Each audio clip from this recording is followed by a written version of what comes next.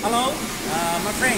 Uh, now I introduce to you our multifunctional hammer mill.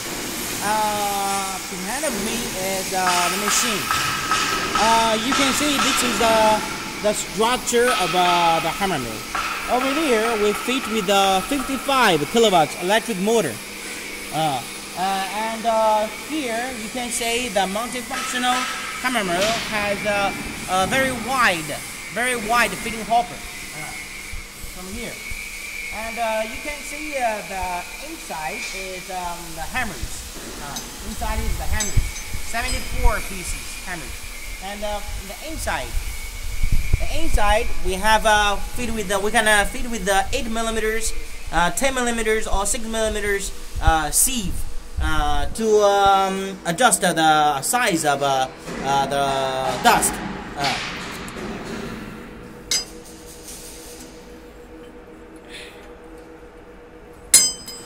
And uh, beside uh, this is the main machine of uh, the hammer mill. Uh, we also the complete set. We need to connect this. Uh, we need to connect this uh, hammer mill from here. uh,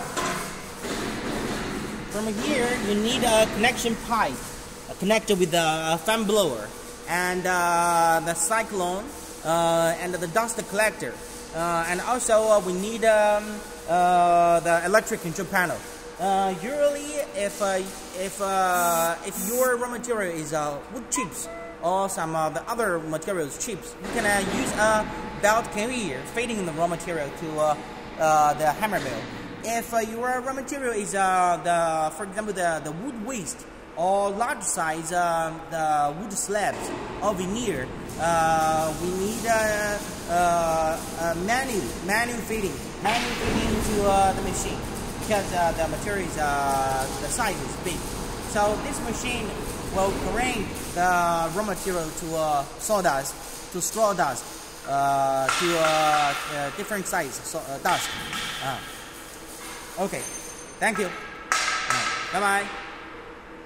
好，可以了，没事，再见。